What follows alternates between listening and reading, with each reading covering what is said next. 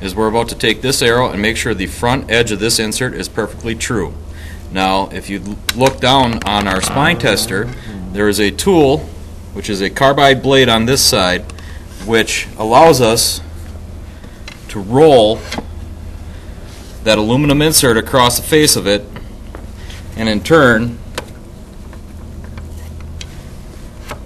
we'll shave the front of it to make sure that it is in fact going to be perfectly square. Reason being, we want to find out exactly how perfect these broadheads can be when we thread them onto the front of the shaft. And when we th- thread each one on, we will show in front of a ruler whether or not it is wobbling on the front of the shaft.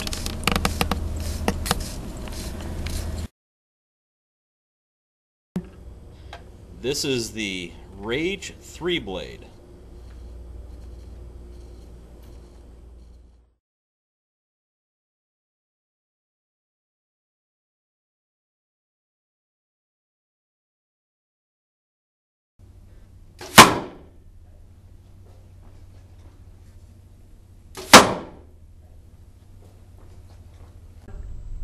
All right, this shot we did the Rage 3 ba- three blade 100 grain.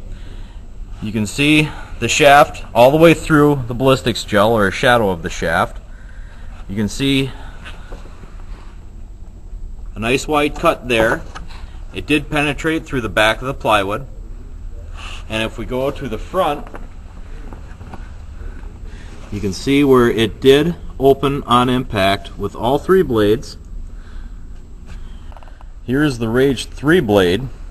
You can see all three blades are intact. Little bits of wood stuck to them yet from the plywood, but does not appear to have any significant damage whatsoever.